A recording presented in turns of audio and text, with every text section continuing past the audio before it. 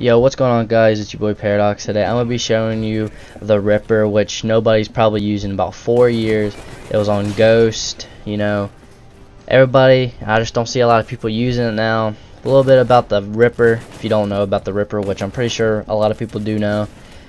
The gun was made on Call of Duty Ghost. It was on the Devastation DLC on Ghost. I don't know which what like I don't know what DLC it was. I don't know which if it was the first, second, third, or fourth. I'm thinking it's the second or third DLC to come out. I'm thinking. I think it's the second. I'm not sure. It's been four years since the game's been out, and I just don't remember none of like the only two guns I really used. Actually, the three, four guns I used on there was the Honey Badger the um Remington, the MTAR, and this weapon. Like the Honey Badger was my go-to weapon. I I wouldn't touch another weapon. But when this game, uh, this gun game, this gun came to the game, I used this all the time. This was the go-to weapon after it came out, and I was just tearing people up because I was third in the world in cranked. If y'all didn't know, I don't know if a lot of people knew that on Xbox 360. I was number three in the world, and I just grind the game out, and I use this weapon.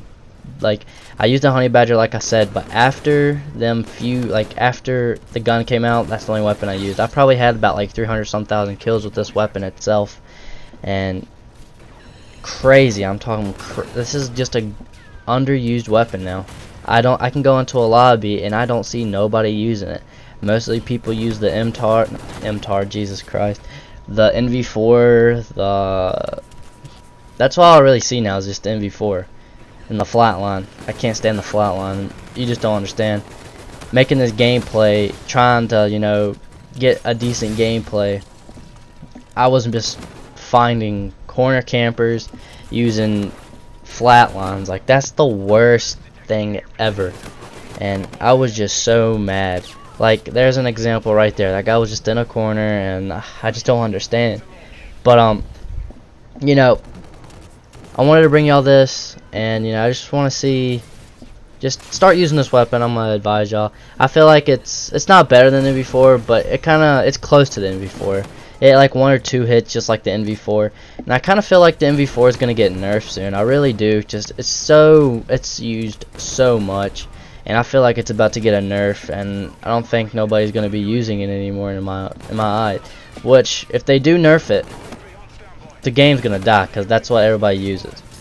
But you know just bringing this to y'all if the NV4 does get nerfed you know you got this weapon. This weapon's pretty overpowered.